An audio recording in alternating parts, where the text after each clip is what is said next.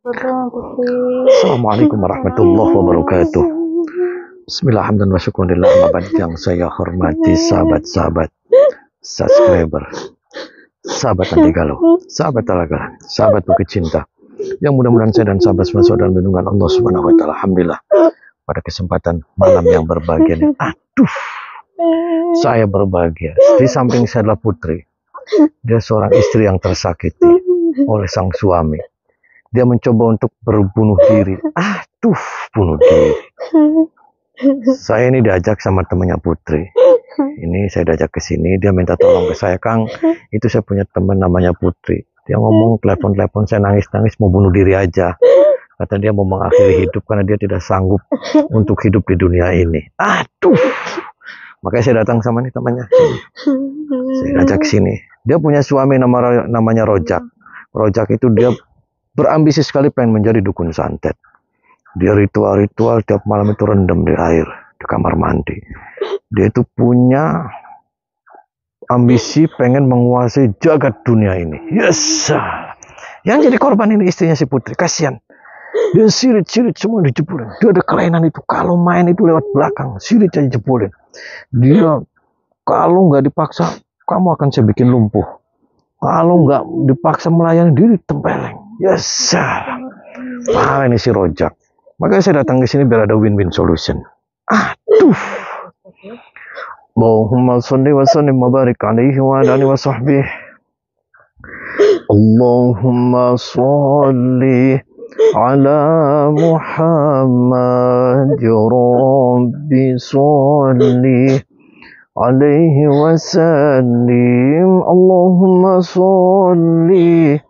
على محمد. يا رب صل عليه وسلم.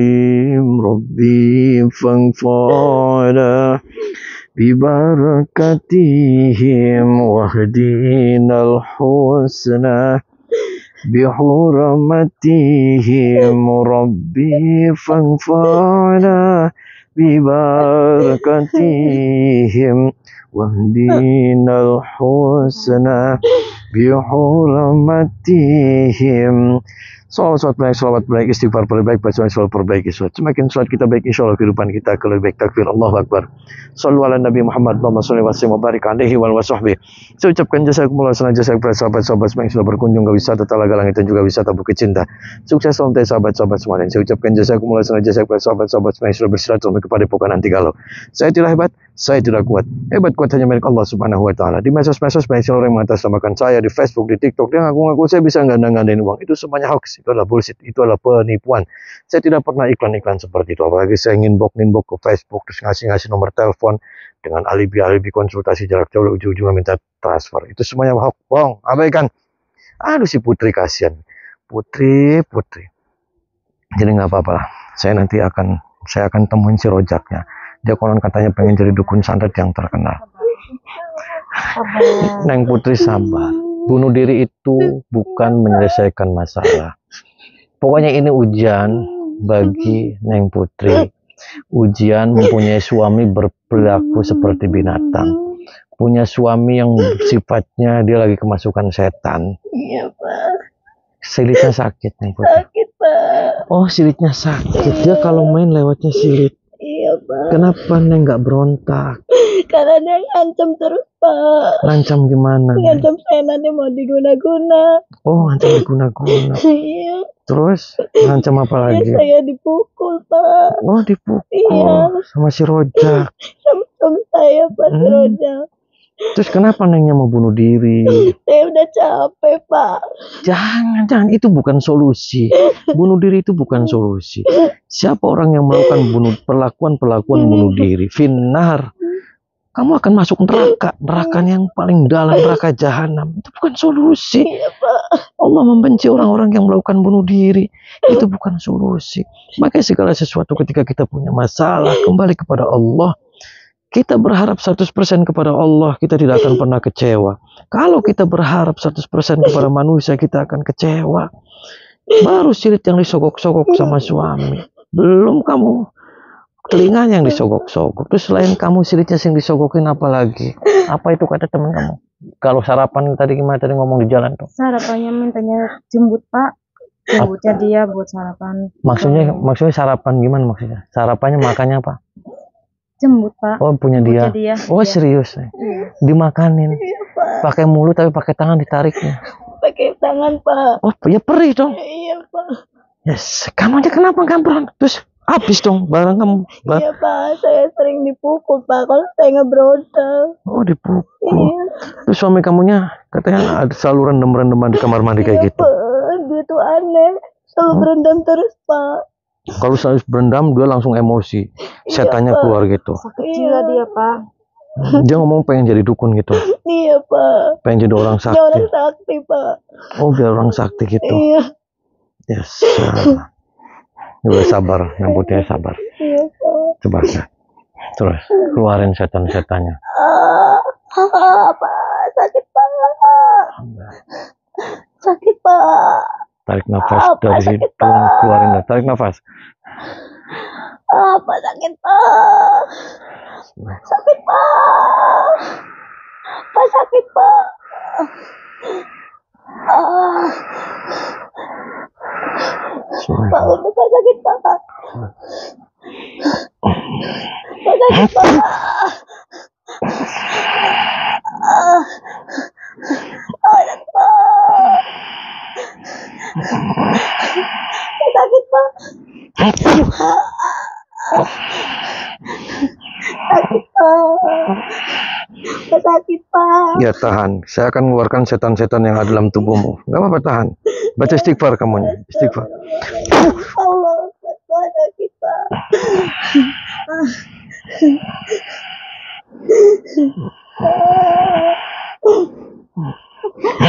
Ah, Pak sakit Pak. Sakit Pak. Sabar ya. Ah, Pak sakit Pak. Sakit Pak.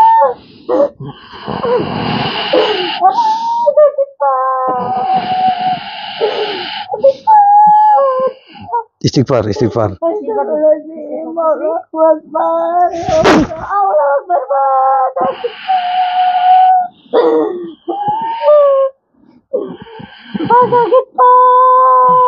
Istighfar, jangan bilang sakit istighfar. Nanti sakit beneran nanti kamu. Ini lagi dicabut setannya kamu istighfar.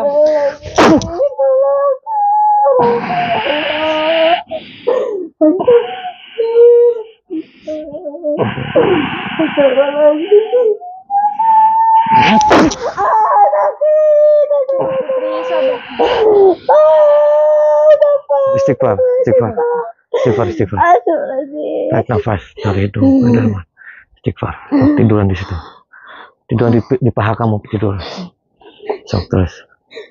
Pijitin tangannya. Terus baca istighfar. Terus. Suaminya di mana di kamar mandi ini? Iya Pak. Ada di Si, ro, si rojaknya ada. Udah kamu terus dipijitin itunya.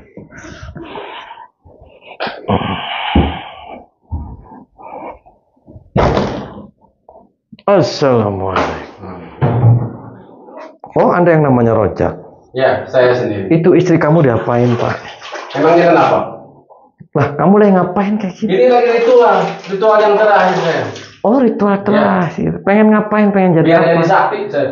Oh, biar jadi Ya, sah. bisa terbang, Oh, bisa terbang. Tidak mempan dibunuh, ditembak. oh, mau anti dembak. Terus mau apa datang sini? Itu kasihan Pak si Putri. Terus Kenapa kamu malah silitnya dijebol-jebolin? itu terserah saya, istri-istri saya. Terus masa kalau sarapan makanin bulu-bulu kayak gitu?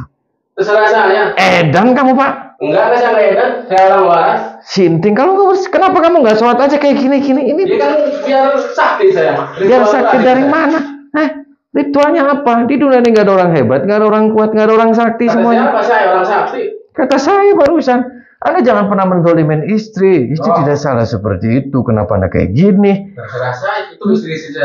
Oke, itu istri-istri Anda. Tapi Ya. perlakuan Anda itu menyimpang karena di dalam Anda itu tubuhnya setan, semua itu setan. Kata siapa saya itu? Seorang saya nggak apa-apa saya. Berarti kamu selingkuhannya istri saya. Kok selingkuhan? Yang selingkuhan siapa? Istri saya jadi tidak mau sama saya. Lah, ya wajar aja dia tidak mau Kamunya kalau sarapan bulu dicabut-cabutin. Saya. coba berarti kan kamu nggak normal, nggak Ya, waras. Terus kalau pengen jadi dukun cari itu kan pengen apa? Biar Biar apa? saya.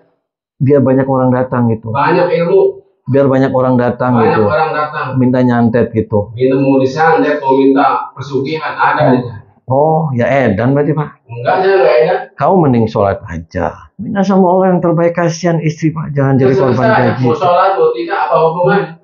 Anda semuanya tinggalin yang kayak gini. Nggak boleh. Terus, Hmm? Kepret sama saya kamu. so, kalau berani. Hmm? Mau nantang berarti. Nantang gimana? Mau nantang mau ngadu ilmu. Lah.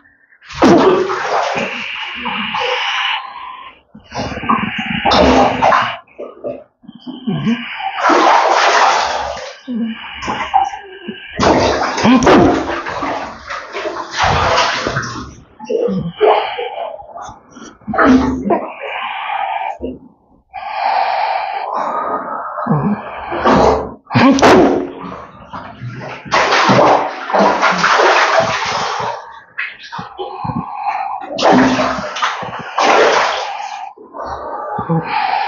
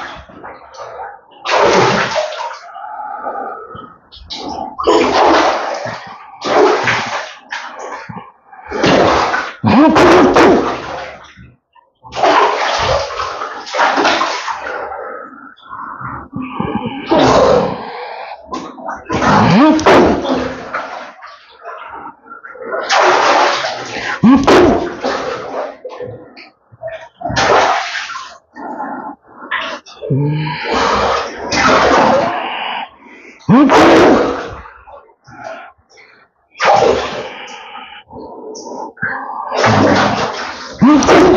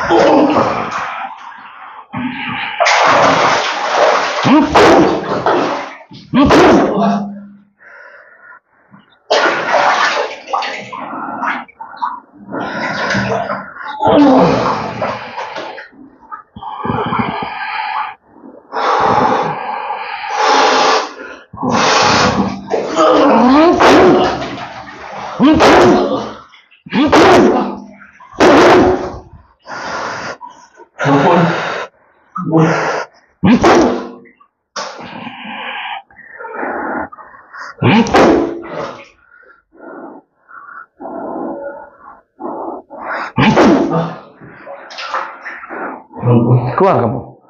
Keluar dari kamar mandi. Duduk. Madep sana duduk. Duduk. Kamu lagi nggak waras. Itu kasihan si Putri. Si Putri itu kasihan. Itu mencintai kamu.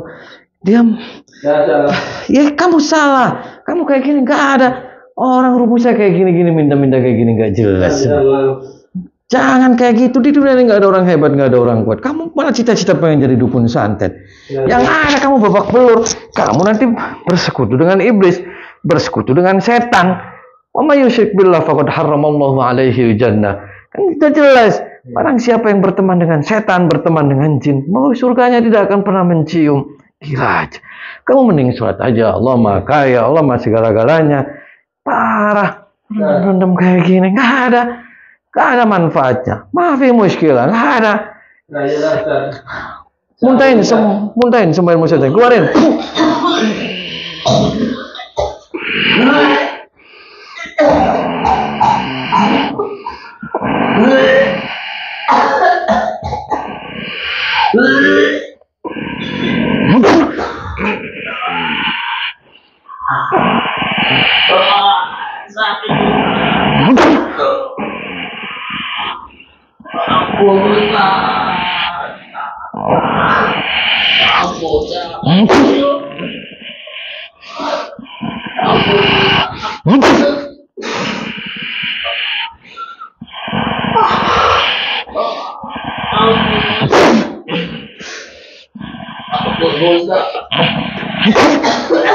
Muntahin semua manusia, keluarin, muntahin. Terus muntahin. Terus. Terus muntahin. Terus. Terus keluarin.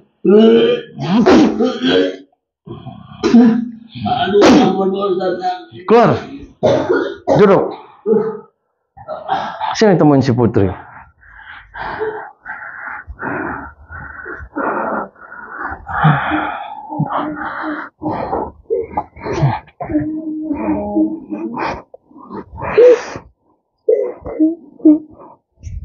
Tuh si Putri bisa kayak gini. Huh. Minta maaf sama Putri. Kamu gak bakal ngelakuin lagi. Saya minta maaf. Tuh si Putri tuh kasihan kamu begitu. Saya minta maaf. Sini dari depan sini. Minta maaf tuh sama si kasihan itu sirit-sirit kamu dirojokin. Minta maaf sama dia. Saya minta maaf. Iya, Ma. Ini mau tangan. Uang yang saya Saya minta maaf. Ini kasihan. Ini ini nanti nanti dibawa ke dokter, bawa ke rumah sakit. Hmm? Kamu masih sakit? Mual lagi? Apa lagi tadi? Duduk kamu ini nongkrong. Nongkrong duduk. Duduk kamu nongkrong di bawah. Kamu kenapa perasaannya apa ketika dia mau Ada yang bisikin atau gimana? Saya perasaan saya ada yang bisikin suruh nyiksa dia Pak Ustadz. Oh, ada yang bisikin suruh nyiksa. Saya suruh ritual di situ. Oh, direndam di sana. Di kamar mandi. Terus bisikinnya dia suruh nyurung-nyurung silit gitu. Iya. Terus selain itu, Pokoknya, kalau pagi katanya sarapannya bulunya dia. iya, segala macam saya turutin. Dia dibisikin kan? Bisikin ada yang bisikin ke telinga saya. Oh, dia harus kamu gini. Iya, Terus kalau yang di, di depan kamu nggak mau. nggak mau. Ya makanya kamu kalau belajar tanpa guru seperti itu, kita boleh saja lah. Kita mau memperdalam ilmu-ilmu apa pun. Ketika kita pengen memiliki sesuatu hal yang kita inginkan, tentunya kita harus dibimbing dengan guru-guru yang mumpuni, guru-guru yang jelas. Bukan malah kamu sendiri rendem-rendem di kamar mandi terus kayak gitu. Maka yang datang ya setan, Ya, setan yang sukanya sukanya silit, sukanya serius kamu kalau pagi sarapannya bulunya dia, Iya, emang enak rasanya. kayak crispy Ustaz. Apa? Kayak kayak tahu crispy. Oh, kalau makan rambutnya dia kayak crispy. Iya. Kok crispy? Kayak hubungannya apa rambut sama crispy? Nggak tahu pokoknya saya ada yang bisikin suruh makan itu. Hmm. Terus katanya puting juga di- dimakan satu, nggak ada satu pentilnya. Itu Iya. gimana? Rasanya apa tuh makan pentil susu? Kayak serabi Pak Ustaz. Kok kayak serabi? Kamu emang edan semuanya. Hmm. Kamu nanti sholat aja yang. Bawa istrinya ke dalam kan? Iya. Nanti diobatin besok ke dokter. Bawa tuh, dirangkul Iya. sana istrinya. Hmm. Sana putri. Sana minta maaf tadi nanti ke keluarganya juga, ke suami minta maaf semuanya. Bawa ke sana, ke kamar mandi lagi sana, diambil itunya. Cara-caranya dipakai. Ya salam. Patah nih.